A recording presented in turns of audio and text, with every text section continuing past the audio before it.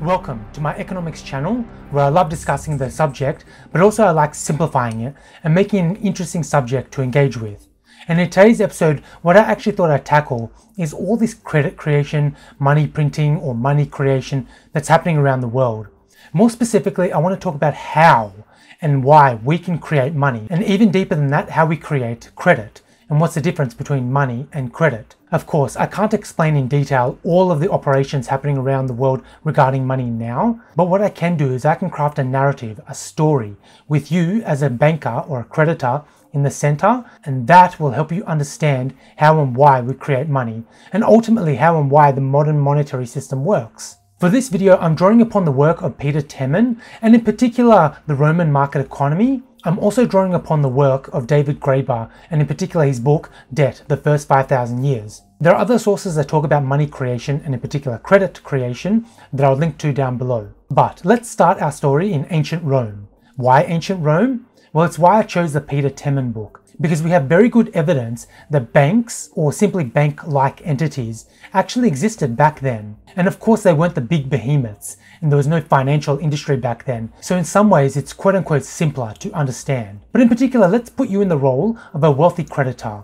Let's say you're a wealthy landowner. You own multiple houses, multiple villas, and you have people working on these villas. You might have a few slaves, but generally you're rich and you're well connected. And in particular, back then, being rich and well connected were one and the same. But as an aside, this is why in the media, and in particular in the financial media, they're always talking about credit conditions. It matters who has access to credit. And especially if poorer people can get access to credit, because this access to credit can lift them out of poverty and do all sorts of other marvelous things. But let's go back to you. So you're a wealthy creditor. Let's say the son of a family friend comes to you, he has a business idea. Let's say it's a bakery. Maybe he has worked in his father's bakery, he's got the skills, he just now needs money. He needs credit to start his own bakery, or maybe he even wants to do an expansion of the current business. But either way, he's come to you because you are the wealthy creditor, you're the banker, you're the ancient banker. Alright, so he needs money. How are you going to give him the money? Let's say you draw a bit of an income and you have cash that's physically stored somewhere in your house. It's safely guarded and maybe it's there for a rainy day. Fair enough. Are you going to lend any of this out? Well, probably not. You might say something like, I am good for the money. If you take this letter, let's call it a promissory note, and you take it to the person you want to buy from, and if they know me well, they will take this as payment. You will then be able to buy the equipment you need to either start your new business or expand your current business. And that seems very natural to do. You're good for the money. You're rich. You have multiple estates. You have an income. You have cash that is stashed away. And you're in good standing in the community. But notice here, you haven't actually given away any cash. You've given away promissory note. You've given away credit. You've expanded credit. Let's say this family friend then presents this note and buys the materials. For the sake of this example, let's say he buys it from one shopkeeper. Why would that shopkeeper accept your credit? Remember, this is not money. This is not gold or silver. This is not the emperor's money. So how and why would this person take this as payment? In this example, the person is taking that credit as payment, that promissory note, because they know you personally. They know you are good for the money. And by extension, why are you good for the money? Not because you're going to sell your villas, not because you're going to give up your income, not because you're going to give up the coins that you've stashed away but because you can count on that family friend to make money from his business venture. The reason you can create this credit and the reason it's not inflationary is because the family friend is going to use it to create new value. He's going to create something new that people can then enjoy, something else that people can spend their money on. When he collects that money, he gives that money to you and that is the sense in which you are good for the money. Your money, which you will then earn from that business venture, will then go and pay off that credit that you expanded. Money will then come into being because of the credit that you expanded. And that money then pays off that merchant. And that is why that merchant accepted that credit in the first place. And this is how you get growth. You extended credit because you expect some sort of interest on that. The only place that interest can come from is the new growth that will be generated by the use of that credit. Either the new business that will be started or the business expansion will generate new money because people now have something else, something new to spend their money on. They come to that business and that money will then funnel over to you and ultimately to the business that your family friend purchased from. Let's make this more concrete. Let's actually rewind. Let's say he comes to you and instead of expanding credit, you instead give him those coins that you have stashed away. Let's say it represents all of your savings. You then give that family friend that money to then use, to then make the purchases and start or expand his business. But let's consider why do you have that money stashed away?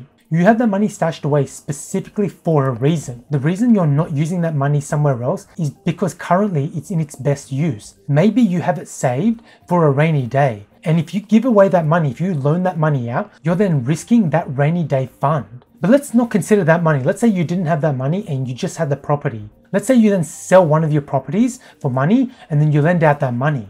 Well, what then? In that case, let's consider you've sold your villa. All that has happened then is that ownership of that villa has been transferred over to someone else. They've given you money and you've got that money now. But this doesn't represent new money in the economy. This is just switching hands. That person had the money previously, which has now gone to you, and that villa, which previously belonged to you, now goes to them. When you're then lending that money out, you're not lending out new credit, you're not lending out new money. You're lending out existing money. There is a sense in which that family friend taking that money to start or expand the business is not new wealth for Rome. It doesn't represent something new because you haven't created new credit. But we can go further. If money then already has to exist in the economy for you to then be able to lend it out, how did you then get the villa in the first place? You might say you inherited it from your parents, but then how did your parents or your ancestors get that villa? Where did that money come from? Of course, the origins of money are murky, but it is most likely that credit came first. Credit was extended first, and this represented new growth, and money was there to settle the credit. The point I'm making is that the only way you could have owned those five villas is because of credit that came before you or credit that you brought to the table. Some value which you've provided to society, which has generated new growth, has allowed you to purchase those villas. Of course, this is a very rosy view, and I don't mean to imply that credit money are always good. Of course, there are people that steal, there are people with ill gotten gains, and there are people that should not have the amount of money that they do. But I'm talking about in a best case scenario, and I'm talking about growth in general. It requires credit, and it's always required credit. This is why I put you in the role as the creditor back in ancient Rome.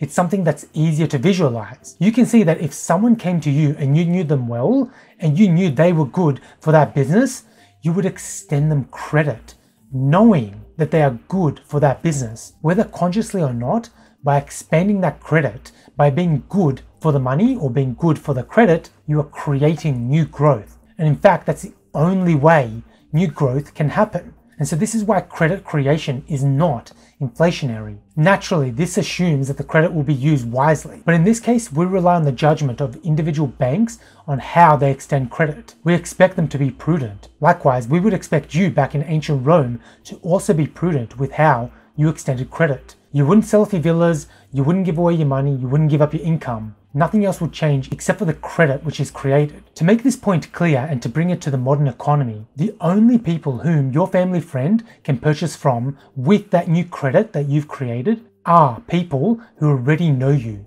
These are people who know you personally and know that you're good for the money. It's not any old shop that would accept that credit because they don't know you. They don't know that they're going to be paid back the money because it's the money that matters, not the credit. The credit represents the money that will come. The credit just pulls the spending forward. You don't then have to somehow save up all this money to then spend it on a business venture. The credit is created for that business venture. And so this is generally why we see that throughout most of history, it's generally only the well connected and the rich who have access to credit. They must know each other well to accept new credit as payment because they have their own bills to pay. So when we propel ourselves forward to the modern financial system, modern banking and the financial system is these rich creditors. Generally speaking, the more financialization, the more banks, the more that they're connected, the better. Because this allows more people to get access to credit and spend that credit. Because if someone is outside of the financial system, they then can't accept payments from someone inside the financial system. They also can't get credit from the financial system. And this is why credit and credit conditions are so key to the modern economy.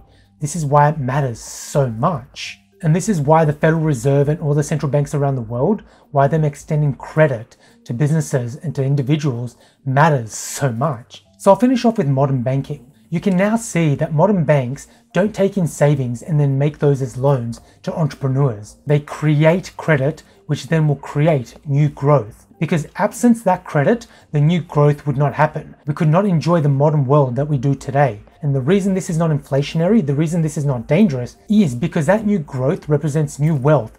It represents new things that people can then enjoy. And because they're willing to pay for these new experiences that did not exist before, this is what creates new wealth, but also allows that loan to be paid back. And this is why we can see new things constantly being created. New categories of goods and services constantly come out. Goods and services are improved. The reason is because of new credit which is created. And it harkens back from that simple example I gave of you as a creditor. And the point here is that the more people have access to credit, the more likely it is that entrepreneurs with new and exciting ideas can bring them to the market and can ultimately expand our horizons with new things that we can experience. And of course, ultimately to make us better off. So yeah, I hope you enjoyed that. Hope that was helpful.